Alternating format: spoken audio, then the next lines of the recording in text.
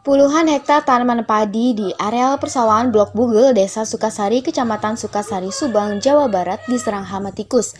Akibat terserang hama tikus, tanaman padi berumur dua bulan pun rusak. Daun padi menguning hingga mati. Dengan kondisi tersebut, petani dipastikan terancam gagal panen dan merugi jutaan rupiah per hektar.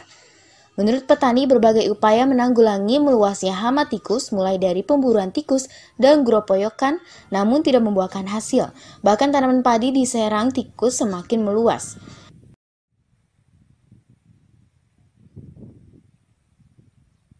Terus saya sampai diobatin apa juga istilah anggur aja.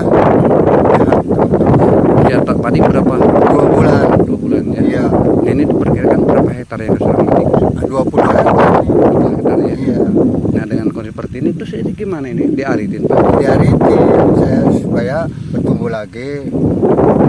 Dulu juga saya udah ngalamin kayak gini, tapi ya memang sisi ini sih kalau kita penghasilan mah ya enggak seperti enggak diarit.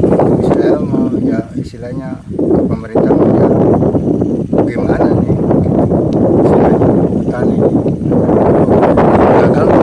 gagal. Yang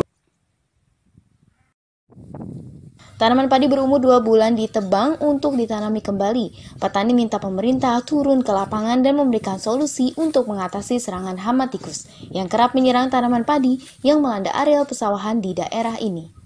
Dari Subang, Jawa Barat, Agus Hidayat, Revolusi TV melaporkan.